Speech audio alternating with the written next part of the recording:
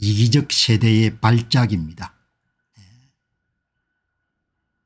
지금 이제 국민연금이 윤 대통령은 식물정부의 수장인 겁니다. 윤석열 대통령은 핫바지 대통령인 겁니다. 아무것도 할 수 없는 겁니다. 본인이 여소야대를 만들어줬으니까 본인이 할 말이 없는 겁니다. 예. 뭐 지금 와가지고 뭐 국민 여러분 이렇게 하더라도 저는 그냥 당신의 정체성이 뻔뻔하잖아. 당신이 그렇게 만들어줬잖아. 짜고 치는 고스톱인지는 모르겠는데 그러니까 연금계획을 할 수가 없는 겁니다. 노동계획을 뭐 김문수 씨를 옮겨봐야 뭘 하겠습니까 법을 고치는 게 계획인데 김문수 씨를 꼽았다 그래서 뭐 할 건데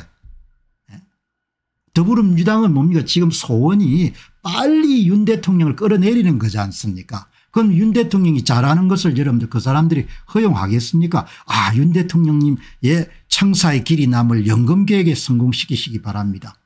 그거 협조하겠습니까? 노동계획을 성공시키시기 바랍니다.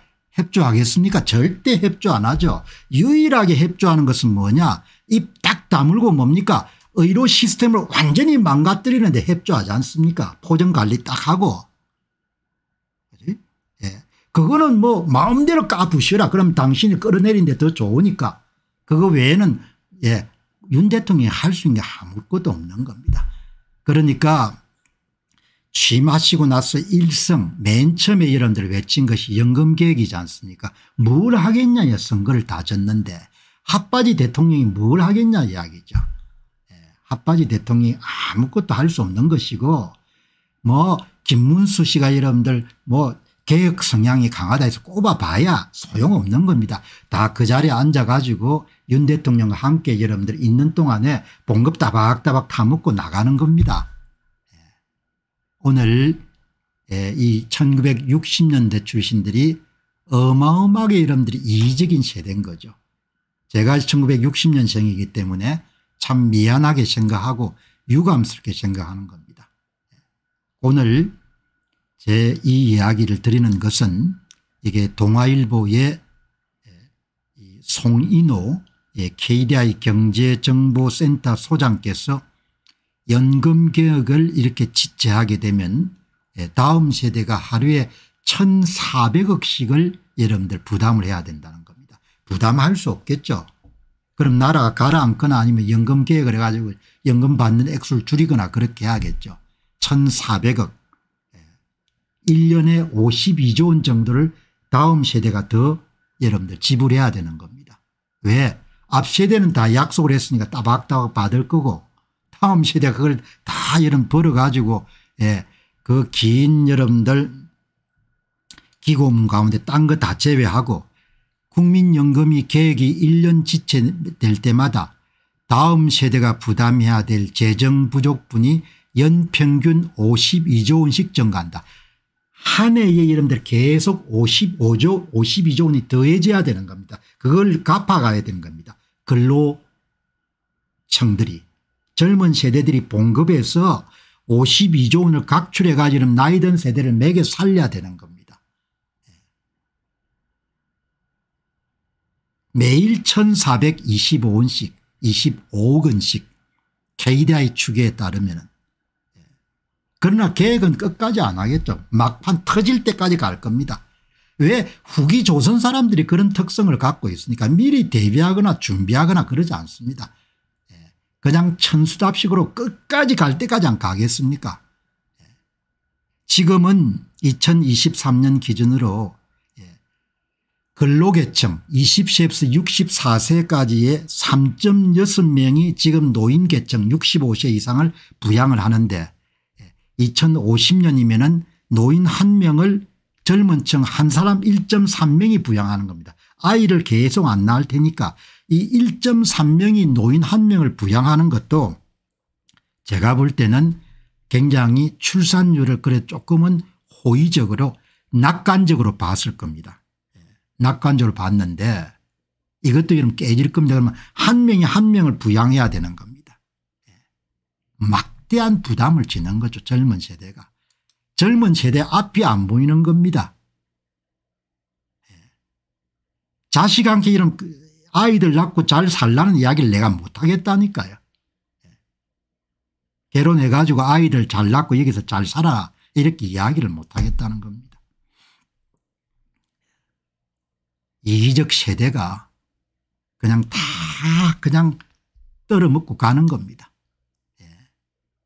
그러니까 여기 보시면은 예.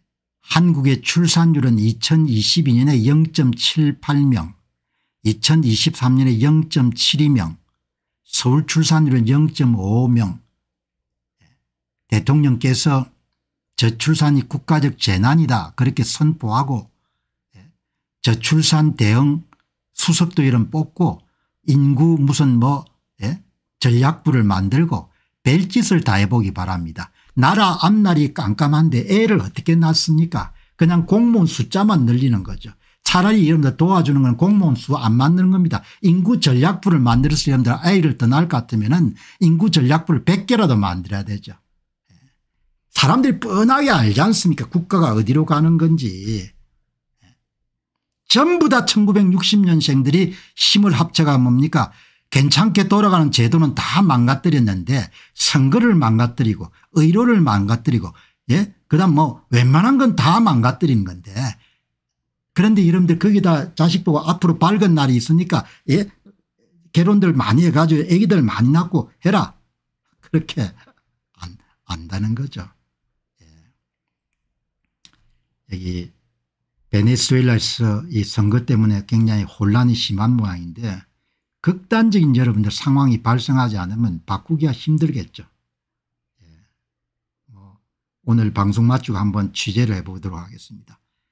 예, 그레고링 맹크 교수가 2008년도 뉴욕타임스 기고문에서 한 이야기가 우리는 정부가 우리를 위해 무엇을 해줄 수 있는지 묻는 것을 멈춰야 되고 대신에 우리는 자녀들과 손주들을 위해 무엇을 함께 할 수 있는지에 집중해야 된다. 엄청나게 중요한 이야기지 않습니까? 짐승은 축적을 하지 않지 않습니까? 짐승은 여러분들 그냥 사냥을 하게 되면 은 그냥 닦아 먹어버리지 않습니까? 인류의 문명이 꽃을 피우기 시작한 것은 저장을 하고 미래를 위해서 축적하면서 여러분들 문명이 생기지 않습니까 동물과 이런 짐승과 여러분들 사람이 뭐가 다릅니까? 짐승은 생기면 그냥 먹어 치웁니다. 내일이 없는 겁니다. 인간은 뭐죠? 저축을 하고 대비를 하지 않습니까? 대한민국의 지금 1960년생들이 기억해야 될 것은 다음 세대에 우리가 뭘 좀 남겨줄 수 있을 거냐 생각해야 되지. 당대 이름 다 닦아먹고 써버리고 그렇게 그렇게 갈 생각을 해서는 안 된다는 거죠. 어떻게 그런 생각하고 사는지 예? 가끔 생각하면 창피하기도 하고 부끄럽기도 하고 어떻게 이렇게 수준이 낮은지 궁금한 겁니다. 예? 우리는 정부가 우리를 위해 무엇을 해줄 수 있는지 묻는 것을 멈춰야 되고 대신에 우리는 자녀들과 손주들을 위해서 무엇을 함께 할 수 있는지에 집중해야 된다. 너무나 평범하지만 너무나 중요한 이야기지 않습니까 우리 앞 세대가 어려운 상황에서 도 여러분들 건검절약 해 가지고 아이들을 다 대학을 보내고 다음 세대가 자기들을 예, 밟고 일어서서 좀 더 나은 삶을 살아가기를 이런 소망했기 때문에 희생하고 헌신해야 되지 않습니까 지금 1960년생들이 이름 하고 있는 꼬라지를 보시기 바랍니다. 예. 희생과 헌신은 여러분들 그냥 예, 안중에도 없고 전부 다 당대 다 해쳐먹으려고 이러면 다 눈이 불아리고 여러분들 그렇게 뛰어다니지 않습니까? 예. 해난 사고가 나면 이런 뜯어먹을 때까지 이런 수조씩 뜯어먹지 않습니까? 민주화 운동에도 또 뜯어먹을 때로 뜯어냈지 않습니까? 가끔가다 생각하면 징글징글하고 뭡니까? 아주 그냥 정남이가 떨어지는 겁니다.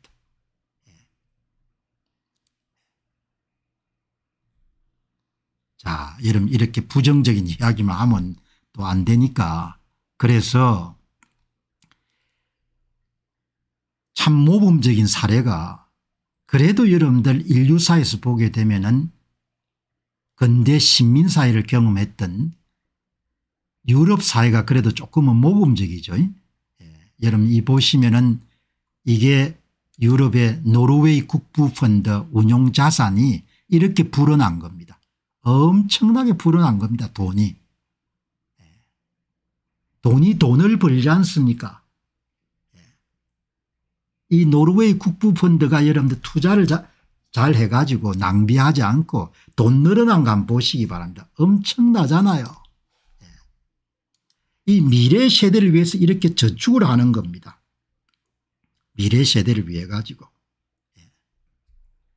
2022년도에 1조 2620억 달러 전 세계 최대 이름 국부펀드를 만들어낸 겁니다.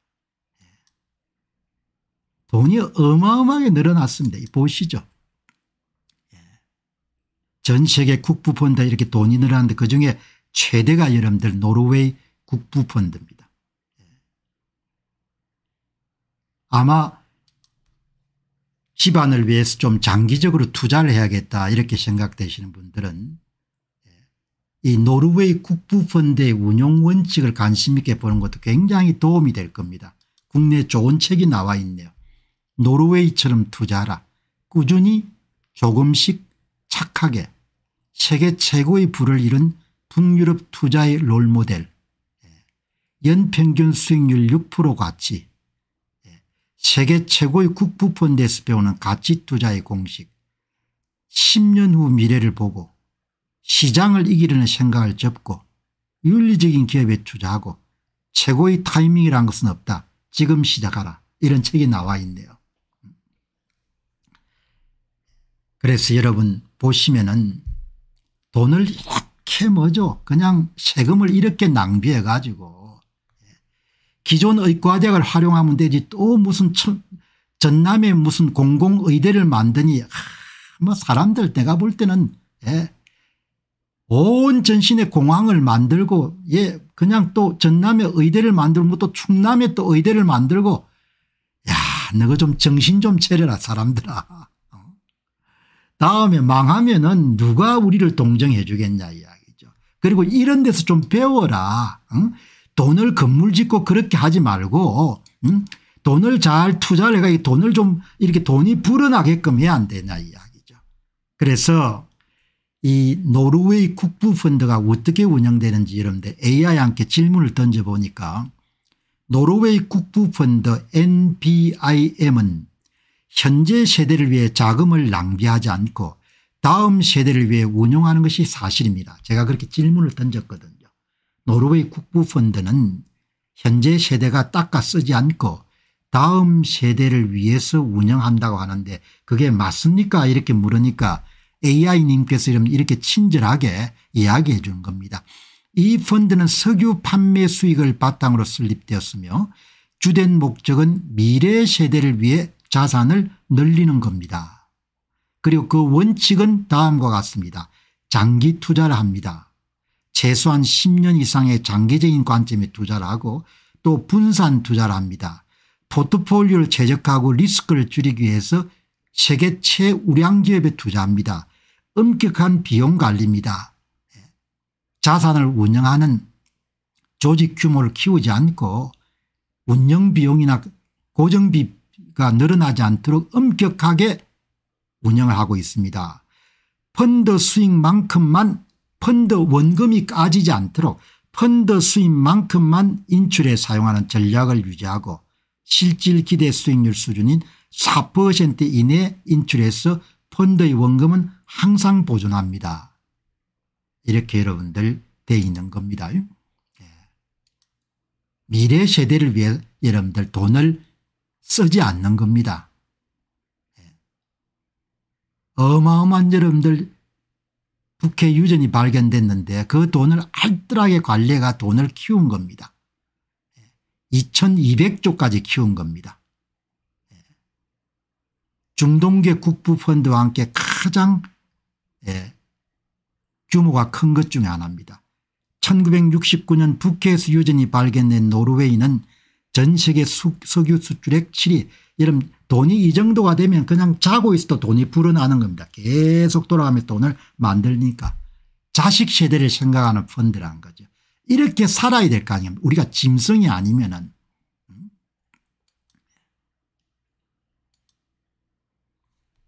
노르웨이 국부 펀드는 미래 세대를 위한 투자를 법적으로 다음과 규정하고 있습니다. 노르웨이는 펀드의 지속 가능성을 위해 펀드 수익만큼만 인출하는 예, 돈을 번 것 이내만 인출하도록 그러니까 그 돈이 계속 굴러가면서 눈덩어리가 되는 겁니다. 예. 펀드의 실질 기대 수익률 인플레스 감안한 4% 이내에서만 돈을 인출해 쓰는 겁니다. 그리고 세대 간 자산 분면 법적으로 국부펀드의 자산 현재 세대와 미래 세대를 위한 것임을 명확히 규정하고 있습니다. 미래 세대가 정치의 활발에 참여하지 않지만 미래 세대를 생각을 해야 될 거 아니에요.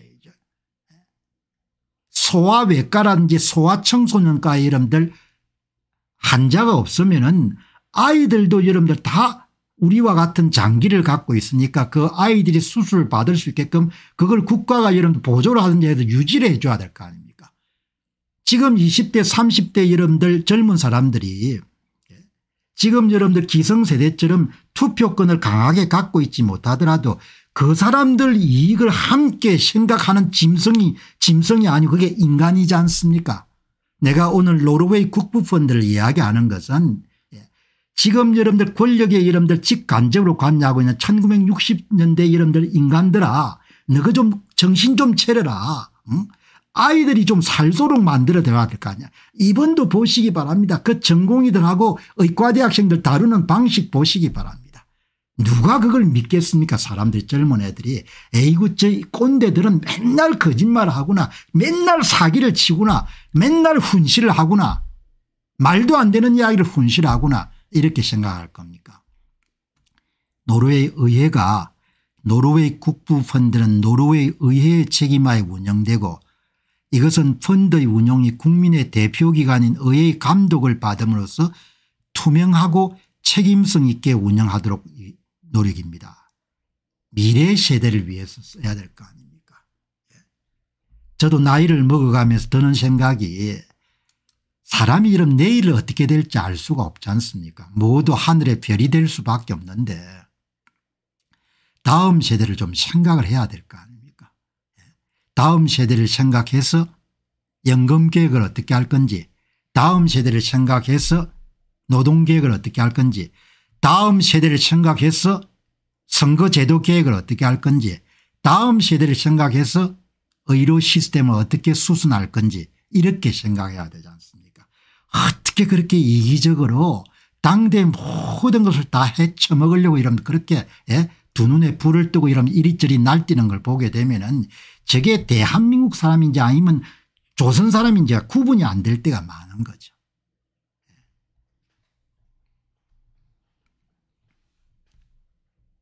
여기 오늘 사찰님께서 말씀하시는 것처럼 너도 나도 국가에 돈을 달라고 아우성을 치고 국민은 나라에 돈을 맡기 맡기 놓았냐고요. 세월호 사건부터 시작해 대형 사건만 터지면 모두 다 특별법을 만들어서 돈을 그냥 뜯어먹으려고 하니 말이 되냐 이야기죠. 생각이나 의식이 너무나 낙후되어 있고 다음에 벌 받을 겁니다. 그 벌 가운데 하나가 자원을 낭비한 죄는 엄청나게 벌을 받게 되거든요. 자원을 낭비하게 되면 어렵게 번 돈이나 자원을 소중하게 이런 관리하지 않으면 그 대가를 엄청나게 이런 지불하게 되거든요. 그게 여러분들 지금 오늘 다음에 한번 시간 되면 조금 더 상세하게 예, 이 노르웨이 국부펀드가 어디에 투자하는 걸 한번 보면 참 재미있을 것 같아요. 이거는 2019년 자료인데 크게 바뀌지 않았을 겁니다. 이 사람들은 대개 한 30년을 보고 하니까 이거 이름 한번 참조해 보시기 바랍니다. 이 사람들이 투자한데 투자 이 이게 2019년 자료니까 다음에 한번 제가 문헌을 챙겨 가지고 노르웨이 국부펀드가 돈을 어디에 투자한지 한번 보시기 바랍니다. 1등 애플 2등 마이크로소프트 3등 알파벳 구글 4등 네슬레 5등 아마존 6번 Roche Holding 7번 Royal Dutch Shell 8번 알리바바 9번 메타 페이스북 10번 노바티스 11번 Berkshire Hathaway 12번 TSMC 대만 반도체 13번 삼성 14번 존슨앤존슨 15번 텐센트 16번 JP모간 17번 토탈 SA 18번 Bank of America 19번 Procter & Gamble 20번 HSBC Holding. 예, 포트폴리오를 다 짰네요. 뭐. 반도체부터 시작해서 제약 금융 그죠? 탄탄하게. 그대로 여러분들 다 딱 정리했는데. 크게 차이가 안 날 건데 최근에 여러분들 이 사람들이 어디에 투자했는지 이렇게 한번 가지면 대개 이제 한 10년 20년 30년을 보고 전 세계에서 가장 우량 기업들을 선택한 걸로 보면 되겠네요. 그리고 아마 1년마다 이제 balancing이라고 하지 않습니까 조금씩 조정하겠죠. 그러나 전체 틀은 변함이 없겠죠. 예. 진짜 좋은 기업만 다 산대요. 그러니까 개인이 투자할 때도 이런 거 참조하면 참 도움이 되겠네요. 이 사람들이 어디에 투자했는지. 예. 그러니까 뭐 기술주가 좀 빠지더라도 금융주가 받쳐주고 금융주가 좀 빠지더라도 제약주가 받쳐주고 이렇게 탁 포트폴리오 짰네요. 예, 노르웨이 젊은 사람들은 참 복받은 겁니다. 예, 노르웨이가 어마어마하게 가난했거든요. 지금도 이런 유튜브 같은 걸 보시게 되면 노르웨이 사람들이 미국으로 이민을 많이 갔지 않습니까 예, 먹고 살기가 힘들어 가지고. 자 여러분 오늘 동시 시청하시는 분들이 함께 좋아요를 한번 함께 눌러주시고 그 다음 방송을 들어주시기 바랍니다. 이제 세월이 흘러서 이제 손자 손녀가 생기고 예, 자식들이 장성해서 이제 분가를 하고 이렇게 하면은 이제 참 아버지 입장에서는 자식을 생각을 많이 하게 되지 않습니까 그거는 뭐 거의 숙명이라고 보거든요. 다음 세대가 좀더 이렇게 기반을 잡고 일어서는데 힘이 돼줘야 안 되겠느냐 그런 생각을 하지 않는 부모님들은 거의 없을 겁니다. 그럼 그것이 다 모이게 되면 한 세대가 다음 세대를 생각해야 되죠. 예, 그것은 개인을 넘어서 정치가 많은 그런 역할을 담당을 해 줘야 되는 거죠. 우리가 돈을 참 많이 벌었지 않습니까 예. 전국에 다 그렇게 여러분들 보면은 예. 요소 요소에 다 공항을 짓고 이제는 뭐 공공의대를 하나라도 이런데 지역에 다 유치한다고 저렇게 야단 법석을 지니까 대학이 이런 문을 닫아 그렇게 문제가 많은데 한전공대를 또 만들어서 엄청난 돈을 뭡니까 낭비를 하고 예. 보면은 그러니까 앞에서도 제가 강조한 바와 같이 자원을 낭비한 죄라는 것은 엄청나게 크기 때문에 예, 그 죄를 크게 비용을 치르게 되는 거죠. 자원을 낭비한 죄가. 예. 그래서 참 오늘 이 정말 모범 사례 가운데 하나인 노르웨이 국부펀드 뭐 간단한 정보만 하더라도 너무나 시사적이네요.